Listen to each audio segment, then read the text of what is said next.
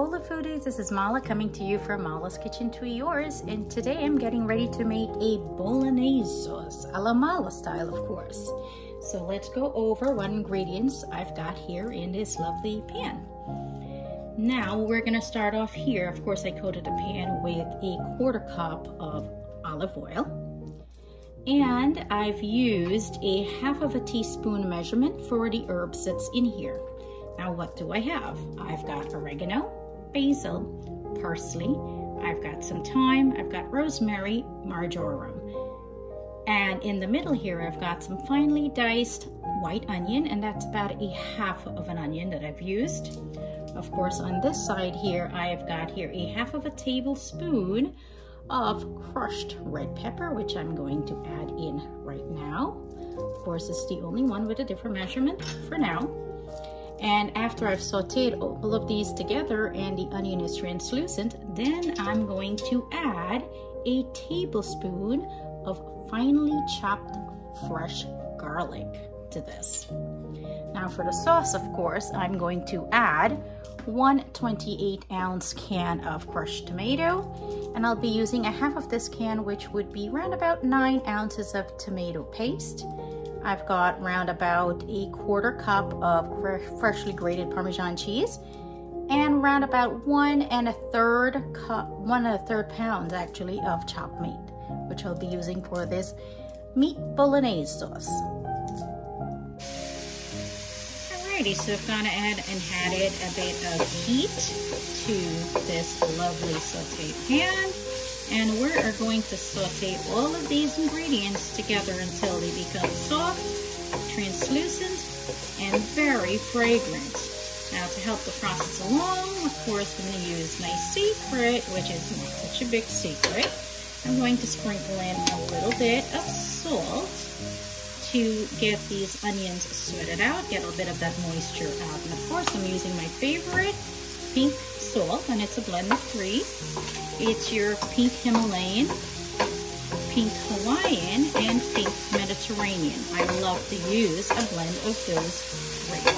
So we're just gonna go ahead and let these bad boys hang out for a bit, saute, get translucent, and after they become translucent, then I'm going to add the garlic to this. So we're just gonna let this cook for a bit.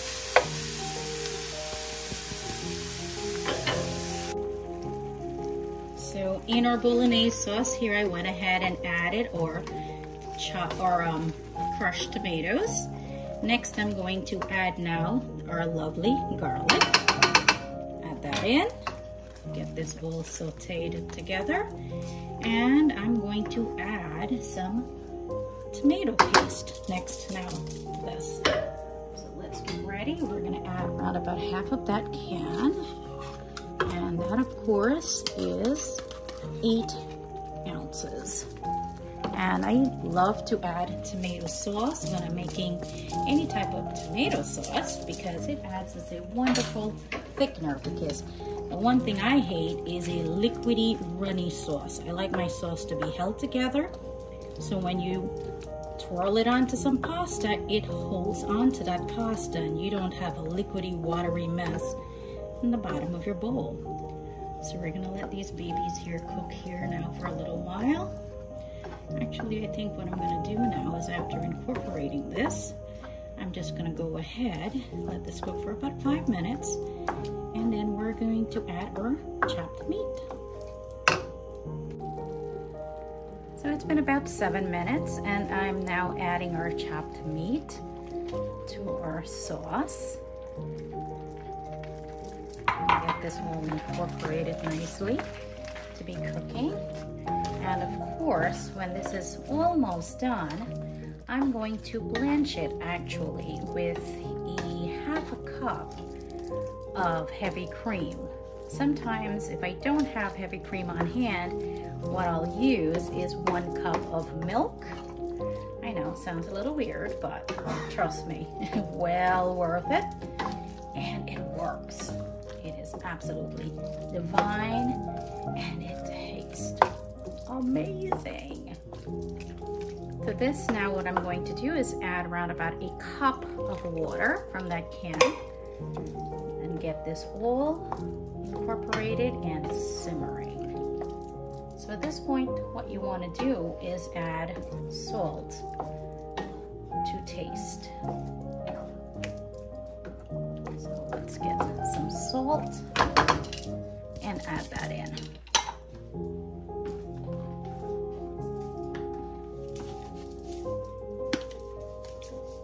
So I'm just gonna add around about, let's say, a teaspoon of salt. Get that incorporated and nicely stir it in. I've got this low and slow, and I got this on a beautiful simmer. Gonna put a lid on this and just let it cook away until I'm ready. Only when the sauce is done, that's when I'm going to add the cheese. So let's put a lid on this bad boy let it do its thing. There we go. All right guys, so we're gonna take a sneak peek and see what's going on with this bolognese sauce. It is cooking away beautiful. Look at that gorgeous simmer. And I think this is the point where I'm just going to go ahead and add a bit of my heavy cream. I'm gonna go ahead and add around about uh, half a cup or so. Get that in. Now that cream does some amazing things to that meat, let me tell you. Not only does it blushes the sauce beautifully, but my gosh, the flavor and what it does, and of course, you know, the stuff that makes up milk, obviously, its components. Uh, it's a fantastic tenderizer as well. So for this bolognese sauce, it's beautiful and thick, but we want to just cook it down just a bit more. So I'm going to keep on going low and slow it. Looks amazing, smells amazing, and we're to let it continue to do its thing. All right, there we go. Alrighty guys, so our bolognese sauce is pretty much done. I've went ahead and I've taken it off the heat and it looks gorgeous right now. So what I'm going to do is I'm going to skim a little bit of this fat off the sides as you can see where the oil is accumulating just right here on the bottom. And of course I'm just gonna, just like so, get that spoon in there, pour it into one of those little cans. This way I've got a bit more of a heart healthy meal right there. And I'm just about to add the cheese into this and give it a good little finish that way. I think that's about all I need off of this. So let's go ahead, finish this baby up with some cheese. Yeah, baby. That's what we like. Cheese makes everything better. There we go. Is that a beautiful sauce or what? Now we're just getting ready. I've got my pasta water going over there. Ouch. that wasn't smart. And um, getting it going. So we're to add some pasta to this beautiful bolognese. And keep this separate and just ladle it over the pasta. There we go. How gorgeous does that look, huh? Beautiful. Let's get you in there for a nice, beautiful tight shot. Take a look, take a look, take a look. Yeah, baby. That is a thing of beauty. And of course, bolognese a la Mala style. Have to make it a little spicy with a little kick. Alrighty, so my pasta of choice is ready for tonight. This is some rollatini. And we're going to go ahead and put some of this beautiful meat sauce on. So let's take a look. Yep, get this nice and close. Ladle on some of that. Oh, that looks gorgeous. Looking absolutely gorgeous check out that meat. sauce. Check out bolognese, baby. Bolognese a la mala style.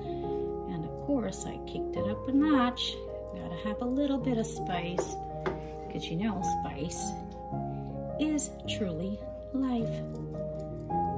Go. Now we're gonna add a little bit of cheese. Because, of course, everything is better cheese. So here, I've got some sliced or rather shaved take a look at that baby. How gorgeous is that, huh? How gorgeous. Ooh, baby. And there you have it. Meat sauce a la Mala style.